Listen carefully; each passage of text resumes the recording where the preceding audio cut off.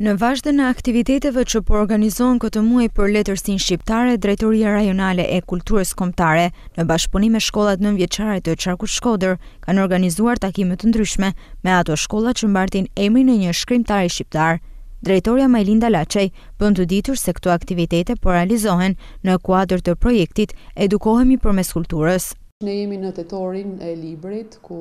i kushtohet gjithë ky muaj i kushtohet leximit dhe përafrimit të fëmijëve që të kenë ta shohin më me interes librin. Në fakt ne kemi zhvilluar goxha aktivitete në këtë periudhë dhe kemi ndërmarrë si institucion një kemi sjellë një këndvështrim tjetër për sa i përket tetorit të librit ku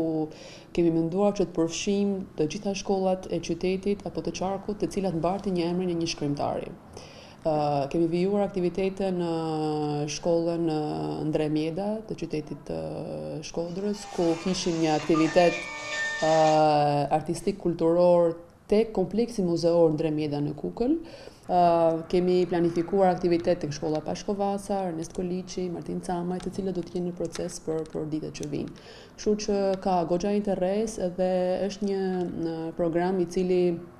implementon vlera absolutisht tek brezi i ri. Laçaj bën të ditur se nxënësit e kanë marrë seriozisht angazhimin në aktivitete të tilla letrare. Absolutisht, përveç asaj kishte edhe një angazhim